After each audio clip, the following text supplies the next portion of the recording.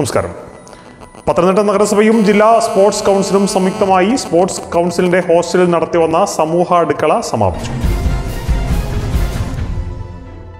കഴിഞ്ഞ മുപ്പത്തിയെട്ട് ദിവസങ്ങൾ കൊണ്ട് പതിമൂവായിരത്തി മുന്നൂറ് പൊതിച്ചോറുകളാണ് സമൂഹ അടുക്കളയിൽ നിന്ന് വിതരണം ചെയ്തത്.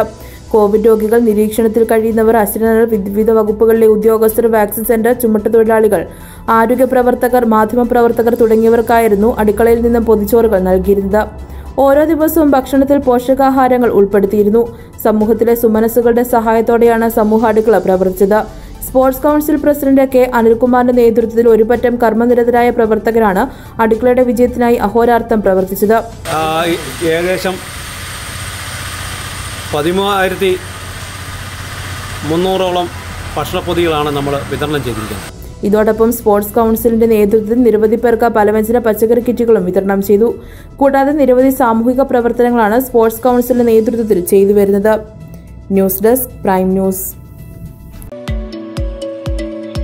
K R mobile സ്പന്ദനം ബ്രാൻഡഡ് മൊബൈൽ ഫോണുകളുടെ വിൽപ്പനയും സർവീസിംഗും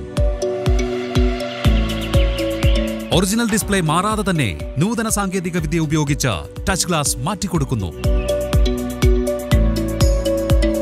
തവണ വ്യവസ്ഥയിൽ മൊബൈൽ ഫോണുകൾ വിൽക്കപ്പെടും. ഹോം ഡെലിവറി സൗകര്യം. Branded mobile accessories.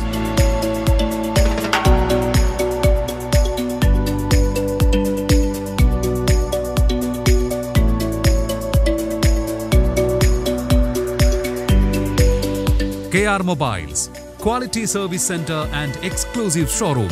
Private bus സ്റ്റാൻഡിന് എതിർവശം പന്തളം.